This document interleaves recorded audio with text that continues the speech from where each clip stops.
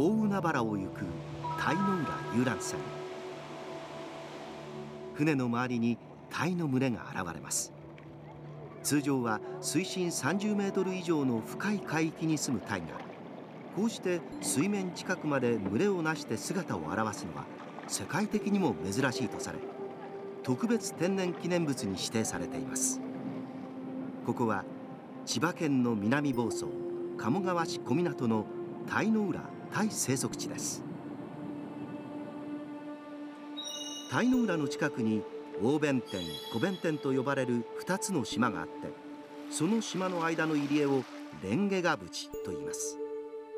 今から780年余り前の上王元年1222年ここで一人の男の子が産声を上げました。生まれた子は善日麻呂と名付けられ12歳になると勉学修行のために清張寺に登ったのです。そして16歳になった善日麻呂は出家得度して蓮長の名を与えられました。その後各地を巡りながら勉学に励んだのです。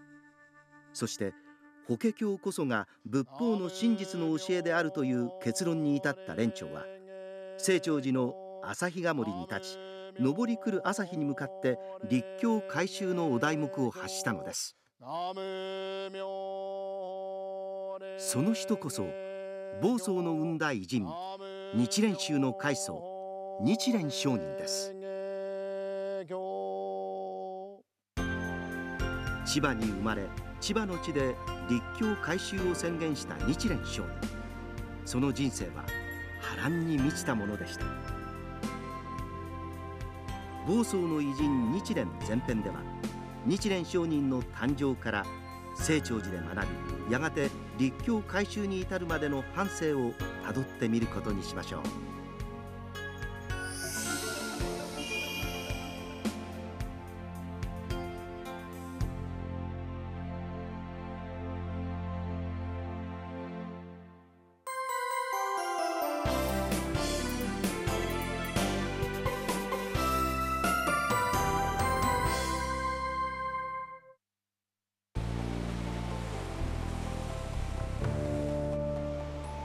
平洋の荒波が押し寄せる千葉県の南房総鴨川市小湊。ここ小湊は日蓮上人の生誕地であり周辺には日蓮上人ゆかりの寺院や伝説の地が数多く残されています。今からおよそ730年前の建治2年1276年の開基とされる日蓮宗大本山小湊誕生寺。寺の名は日蓮上人が自ら名付けたものと伝えられる誕生寺ですがそれでは日蓮上人とどのような関わりがあるのでしょう？え東山はですね、え、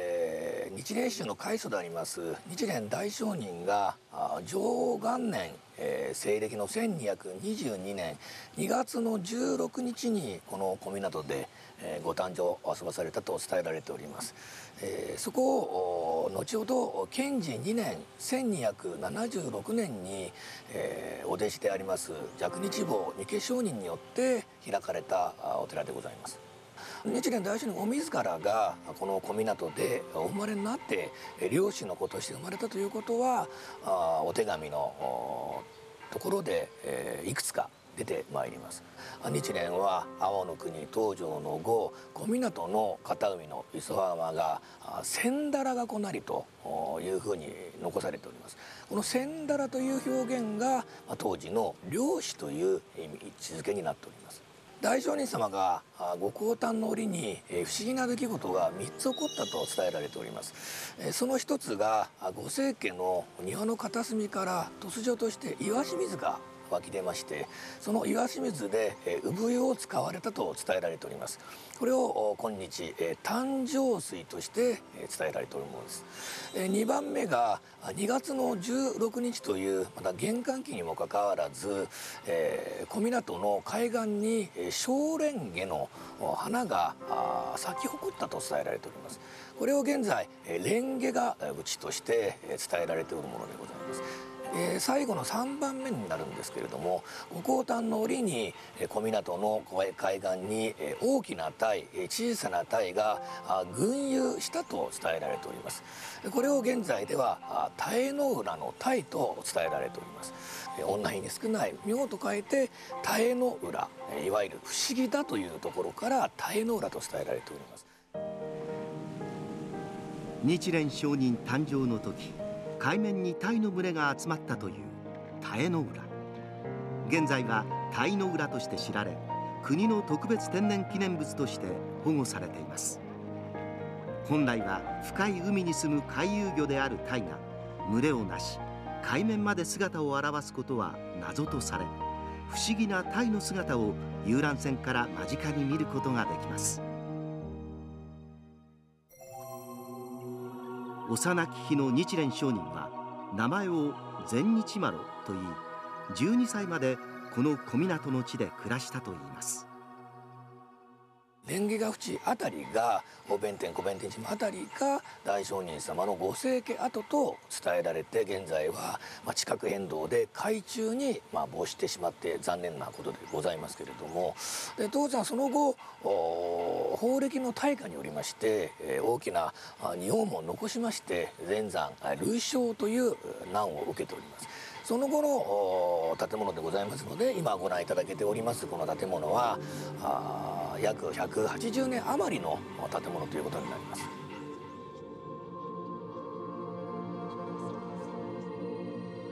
県内最大級重厚な佇まいを見せる誕生寺の仁王門は宝永2年1705年の建立で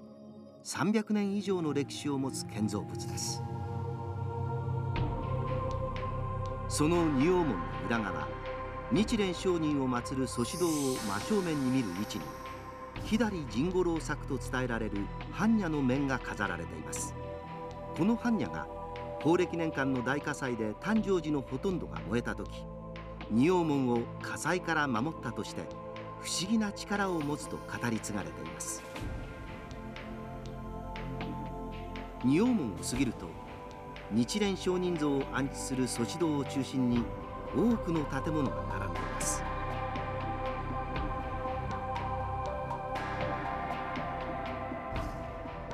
ひときわ大きな祖師堂は天保3年から10年余りの歳月をかけて建立されたもので江戸城改築用であった太い52本の欅と2本の杉の柱でこの巨大なお堂は支えられています。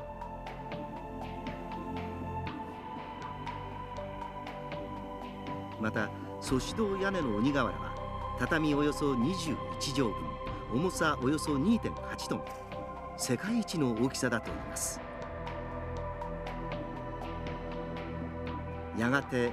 12歳にして清張寺に登ることになった千日丸。その気持ちはどのようなものだったのでしょう？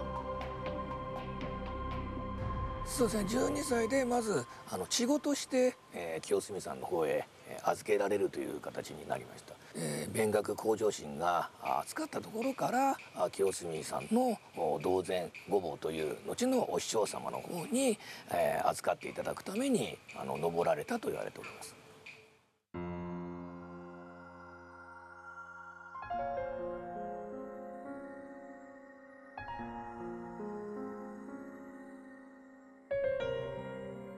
うっそうと茂る木々に覆われた清澄山系の山々標高310メートル余りの山中におよそ1200年前不思議法師と呼ばれる僧侶が知恵と福徳を授ける菩薩として名高い虚空蔵菩薩を安置し修行したのが始まりと伝わる日蓮宗大本山清張寺があります。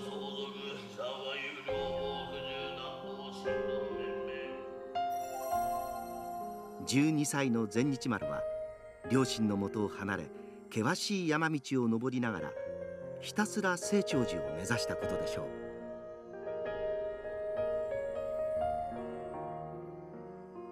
そして清張寺ではこの後どのような修行が待っていたのでしょう。日蓮上人は天福元年5月12日に道前坊師匠に連れられてこの山に入山されました。16歳の時に今度は仏門に入るために出家得度といいましてお坊さんの道に入られましてあのこの山はですね女人禁制のお山でございまして、えーこの女性の方はこのお山の頂上まで上がってくることができませんでした。この途中にテール遺跡という場所がございまして女性の方はそちらまで来ていただきました。でお母様の日蓮上人にお会いする時にはですねその女人堂跡定類石という場所がございましてそこの場所までえ日蓮上人が降りられましてお母様とお会いしたと言われております。でその時にお母様がいろいろその自分の息子が一生懸命修行している姿を見て涙を流したということがありましてそれで定類石というお名前がついております。同じ16歳の時にですね、えー、国蔵菩薩に、日本第一の知者となしたまえといって21日間の断食修行をされました。でその21日目の満願の日にですね日蓮上人は知を図れまして国蔵様から知恵の宝珠といいまして玉を知恵の宝珠の玉をいただいたと言われております蓮長後の日蓮上人は清張寺の虚空蔵菩薩に向かいまた境内の蓮行堂にこもりながらひたむきに勉学修行に励んだといいます。蓮長がいかに厳しい修行を行ったかを伝える盆血の笹を今も本堂裏手で見ることができます。苦行の末霊感を得て倒れた蓮長が血を吐きそれが笹の葉に飛び散ったといいます。それ以来葉に斑点が現れるのだと伝えられています。厳しい修行の中で蓮長は大きな疑問を抱くようになります。何が釈尊の本意にかなった教えなのか。18歳になった蓮長は死の同然坊の許しを得て清張寺を降りるのです。そして鎌倉に始まり比叡山高野山京都市中の寺々などに足跡を残しながら十数年諸国を回りながらさまざまな仏法の勉学に励んだのでした。当時の仏教といえば同じ釈尊の教えをよりどころとしながらも念仏禅真言律天台などの宗派が乱立し真実の仏教の教えが一体どこにあるのか見極めもつかない状態でした。そうした中で蓮長は一切の民衆を迷いと苦悩から救済するための仏法とは何かを求め続けたのです。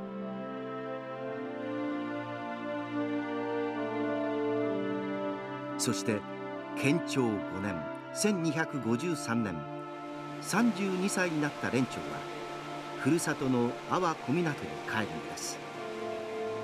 清張寺に向かったあの日から20年の歳月が過ぎていました。この時真実の仏法とは何か。蓮長の胸には一つの結論がありました。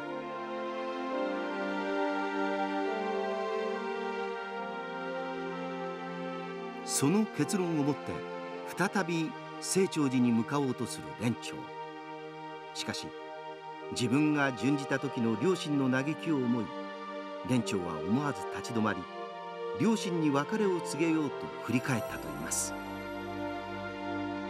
その場所が現在の鴨川市内浦にある高尚寺で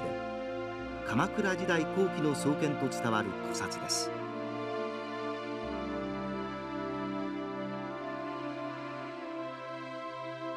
樹齢800年とも1000年とも言われ清張寺の歴史を見守り続けてきた千年杉。きっとその日のことを覚えていることでしょう。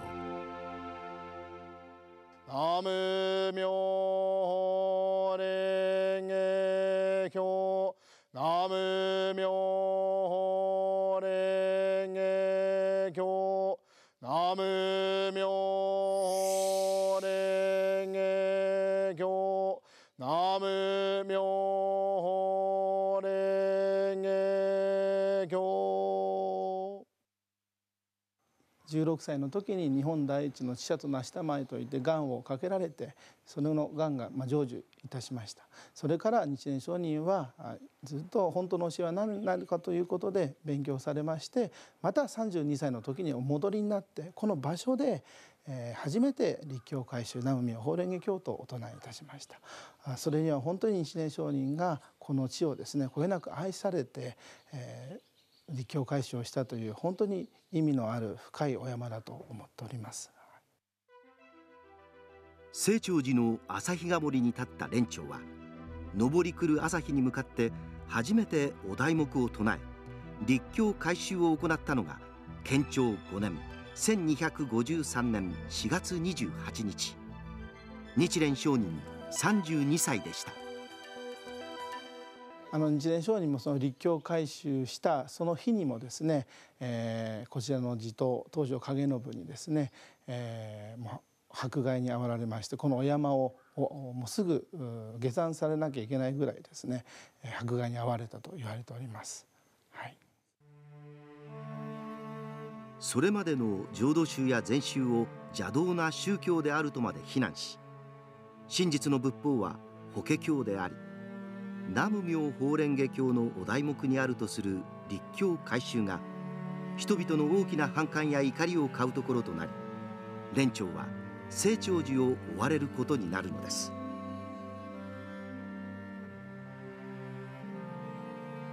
清張寺を降りた蓮長は両親を法華経に帰依させました。そして父には明日母には妙蓮の宝号を授け自らは二人の名を合わせ日蓮と名を改めたと伝えられています。勝浦市法華静かな山あいにある龍蔵寺。建長5年1253年日蓮上人の両親の創建と伝えられています。立教改修後日蓮上人は両親をはじめ一族の人たちを集め法華経こそ真の仏法であり釈尊の持つ全ての功徳が盛り込まれている法華経をよりどころとしてただひたすら南無妙法蓮華経のお題目を唱えよと説き入信させたといいます。龍蔵寺は日蓮宗の中で最も古い寺院の一つで日蓮上人の大曼荼羅や県指定文化財のワニ口などが伝えられています。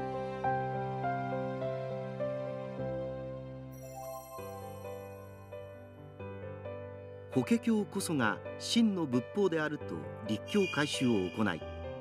多くの人々の反感を買うことになった日蓮上人にはこの後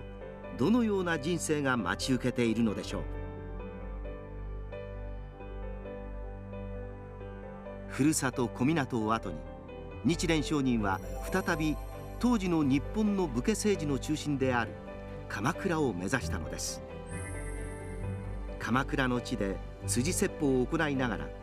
真の仏法が法華経であると説き続けた日蓮上人ですがそこには次々と襲いかかる災いや法難が待ち構えていたのです。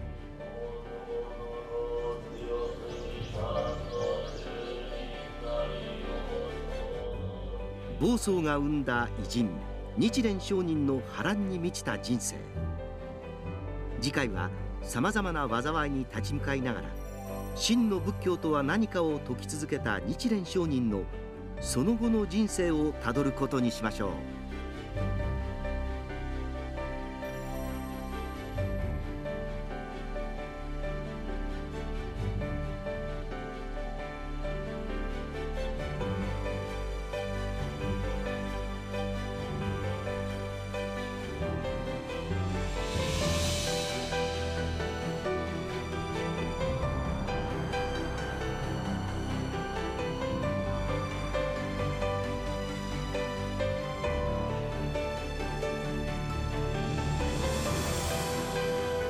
次回の千葉見聞録は房総の偉人日蓮後編をお送りします。